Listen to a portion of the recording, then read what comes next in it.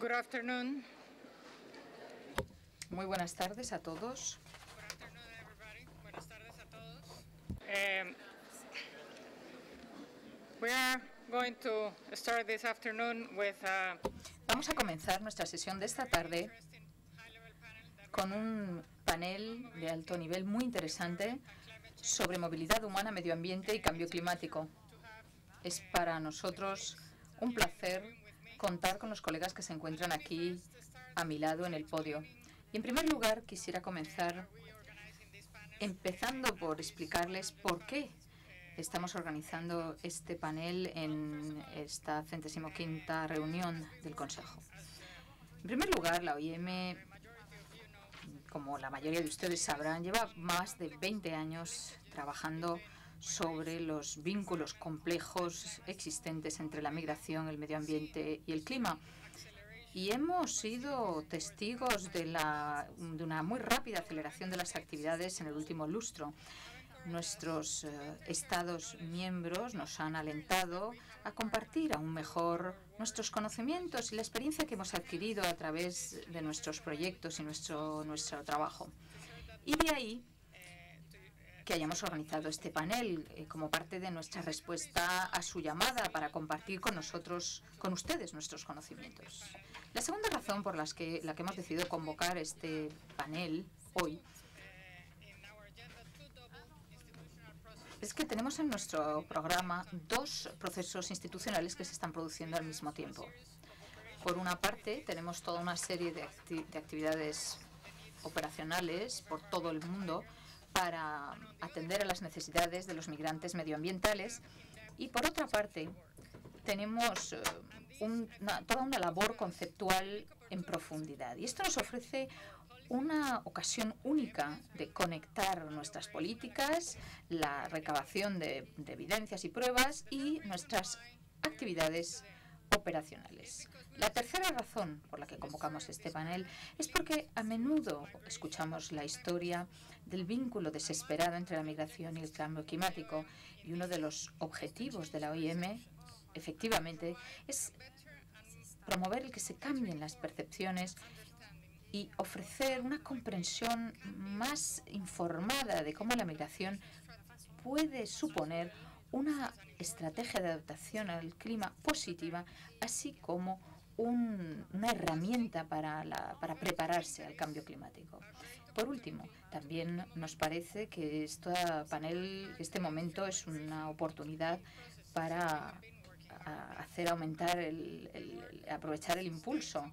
Hemos trabajado para integrar la migración en procesos claves. eh, eh, por ejemplo, hemos trabajado con socios sobre la reducción de riesgos de catástrofe en la conferencia de Sendai, también en la conferencia que va a tener lugar en Lima la próxima semana, en asociación con todos ustedes, y para traer la movilidad, mm, el tema de la movilidad humana a la mesa de negociación. También queremos llevar a la migración a los procesos de desarrollo humanitarios y sobre el terreno.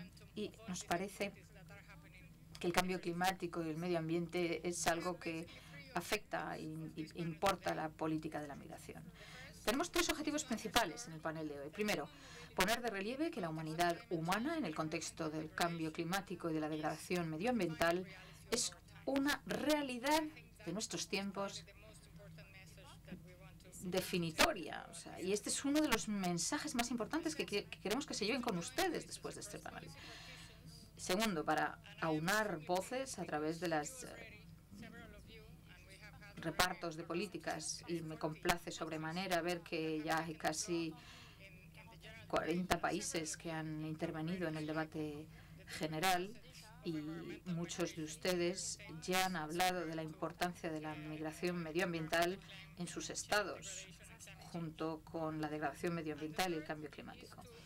Y el tercero, el tercer objetivo es afirmar el papel de la OIM y su compromiso en el ámbito de la migración, el medio ambiente, el cambio climático y las respuestas a las catástrofes naturales y a la reducción de riesgos de catástrofe.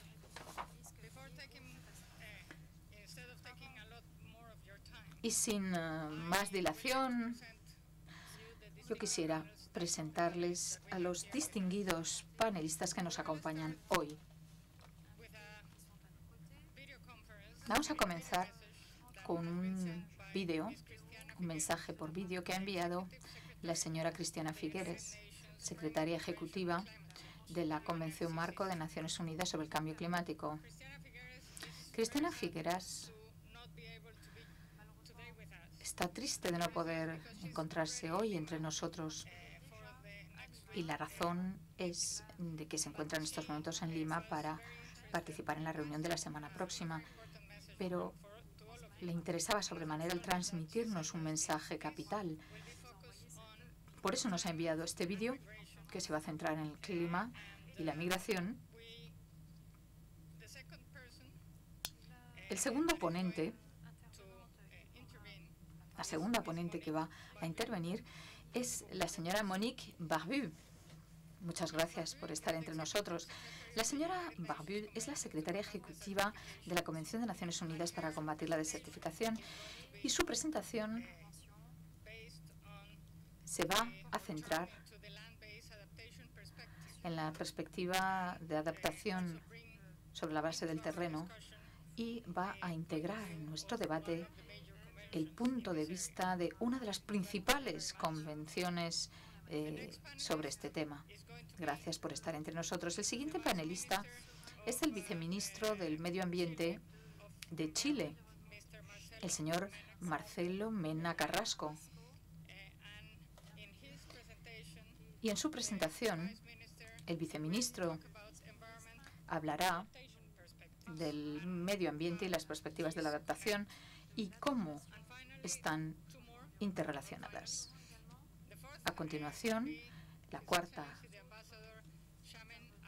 el cuarto orador será Shamin Ashar, embajador de Bangladesh, que va a traer a, a, colación la perspectiva de los países más afectados por el medio ambiente y también el compromiso de Bangladesh en el foro sobre el cambio climático del que hablamos hoy mismo. Y por último, su, excelencia el embajador Claude Wild, que se ocupa del Departamento de la Seguridad Humana del Departamento Federal de Asuntos Exteriores de Suiza. Él aportará al debate las uh, la información sobre la iniciativa Nansen y cómo encaja en todo este debate. Y ahora permítanme comenzar presentándole el mensaje por vídeo de la señora Cristiana Figueres.